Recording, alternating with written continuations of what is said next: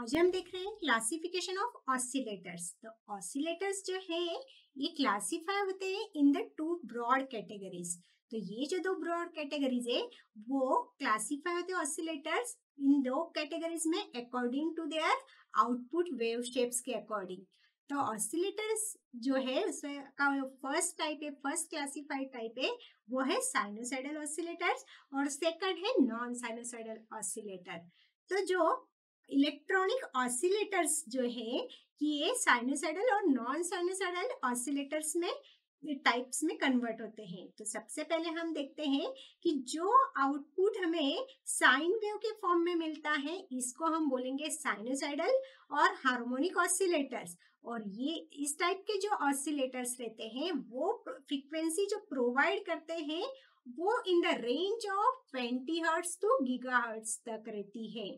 तो जहाँ पे साइनोसाइडल ऑसिलेटर्स जो रहते हैं यहाँ पे उनको साइनोसाइडल बोलेंगे, जिनका आउटपुट हमें साइन वेव मिल रहा है। और उसकी फ्रीक्वेंसी रहती है 20 हर्ट्ज टू गीगाहर्ट्ज के रेंज में। तो देखते हैं सबसे पहले साइनोसाइडल ऑसिलेटर्स क्या होते हैं। तो साइनोसाइडल ऑसिलेटर्स जो है, ये प्रोड्यूस करता है sine wave output signal output signal में साइन वेव प्रोड्यूस करता है। आइडियली जो है आउटपुट सिग्नल ये कांस्टेंट एम्पलीट्यूड के रहते हैं? With no variation in the frequency output जो सिग्नल्स है, उसमें कोई भी फ्रीक्वेंसी का वेरिएशन नहीं रहता है।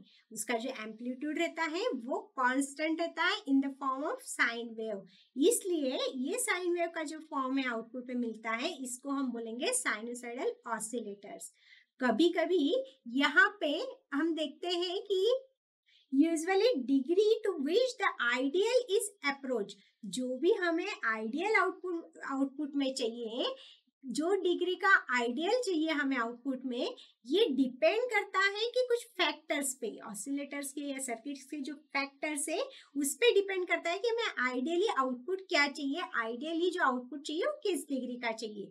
तो उस टाइप के जो फैक्टर्स है, वो है like the class of amplifier हम किस टाइप का क्लास ऑफ़ एम्पलीफायर यहाँ पे यूज़ कर रहे हैं? फिर एम्पलीफायर का ऑपरेशन एम्पलीफायर की कैरेक्टरिस्टिक्स क्या है? फ्रीक्वेंसी स्टेबिलिटी कैसी है? और एम्पलीट्यूड स्टेबिलिटी कैसी है? तो ये जो सारे फैक्टर्स हैं, इस पे भी आउटपुट यहाँ पे डिपेंड करता है। अब देखते हैं कि साइनोसाइडल जो ऑसिलेटर्स है उसको हम हार्मोनिक ऑसिलेटर्स भी कहते हैं। तो ये डिफरेंट टाइप्स के रहते हैं। सबसे पहला जो टाइप रहता है, वो रहता है tune circuit oscillator tune circuit oscillators में इंडक्टर्स रहते हैं और कैपेसिटर्स रहते हैं। और ये यूज़ होता है to generate the high frequency signals high frequency signals generate करने के लिए हम ट्यून सर्किट यूज़ करते हैं। ट्यून सर्किट ये टाइप ऑफ़ साइनोसाइडल और हार्मोनिक ऑसिलेटर का है। और ये इसमें हम हाई फ्रिक्वेंसी सिग्नल्स जनरेट करते हैं क्योंकि इसमें कैपेसिटर्स और इंडक्टर्स इंक्लूडेड रहते हैं। और यहाँ पे इनको हम रेडियो फ्रीक्वेंसी ऑसिलेटर्स भी बोलेंगे, क्योंकि ये हाई फ्रीक्वेंसी सिग्नल्स को जनरेट करते हैं। और इस टाइप के ऑसिलेटर्स जो रहते हैं, जैसे हार्टी ऑसिलेटर्स है, कोलपीट्स ऑसिलेटर्स है, ये सारे ट्यून सर्किट ऑसिलेटर्स का कहते हैं हम इनको, और ये टाइप रहता है साइनोसाइडल ऑसिलेटर्स का।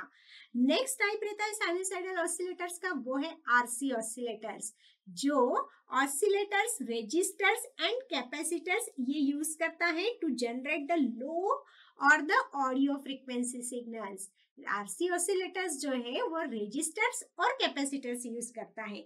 और थ्रू दिस रेजिस्टर्स और कैपेसिटर्स से यहाँ पे आरसी ऑसिलेटर जो है, वो लो सिग्नल को जनरेट करता है और ऑडियो फ्रीक्वेंसी को जनरेट करता है।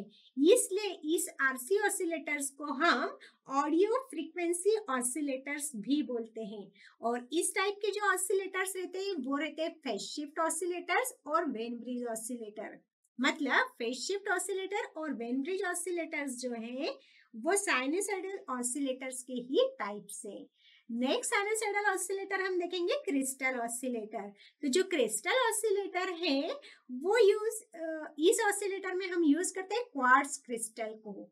तो क्वार्ट्स क्रिस्टल ये यूज़ होता है to generate the high stabilize output signal generate करने के लिए। और इसके पास जो फ्रीक्वेंसी रहती है, वो रहती है टेन मेगा की। तो जो क्रिस्टल ऑसिलेटर्स है, वो साइनोसाइडल ऑसिलेटर का टाइप है।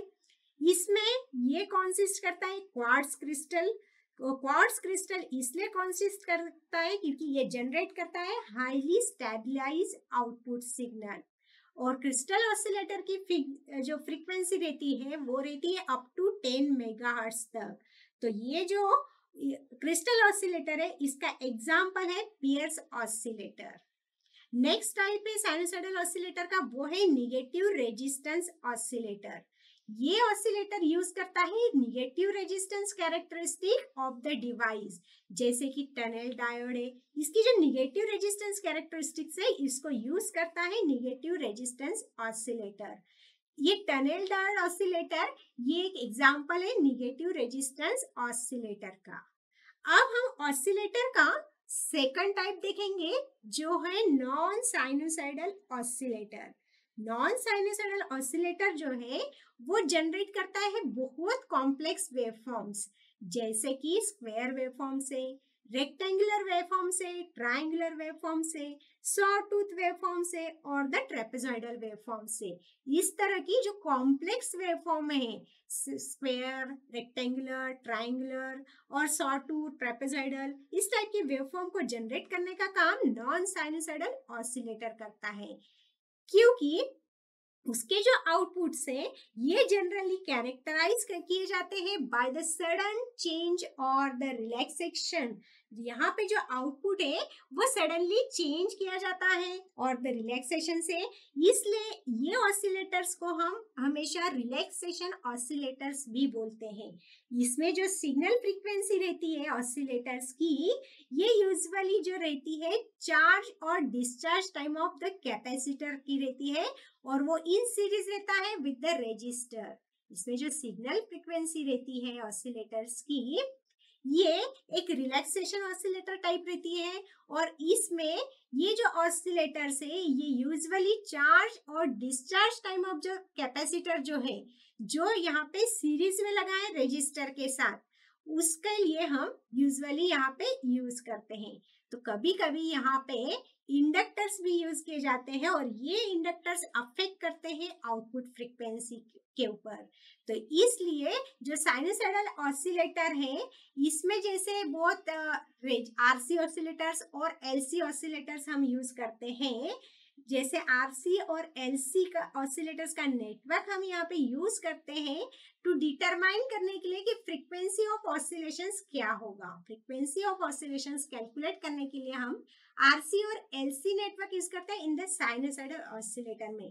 पर नॉन साइनोसाइडल ऑसिलेटर में यहाँ पे multi vibrators blocking oscillators sawtooth generators and trapezoidal generators हम यूज़ करते हैं।